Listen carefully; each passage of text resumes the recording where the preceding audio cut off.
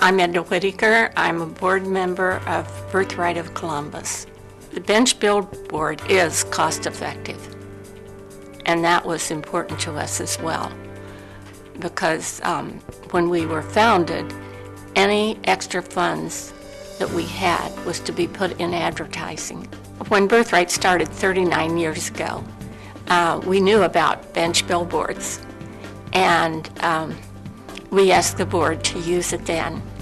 And it took us 39 years of uh, using different advertising to get to bench billboards.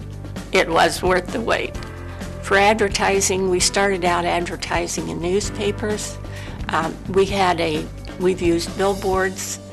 One of the things I liked about bench billboards is that we got them in the areas where we wanted them. We had our first call in December, which was very unusual because it hadn't been up one month yet. And in um, January, we um, tripled our amount of billboards. Bench Billboard was also very good with follow-up and was there for us. At this point, I would see bench billboards as our future main advertising.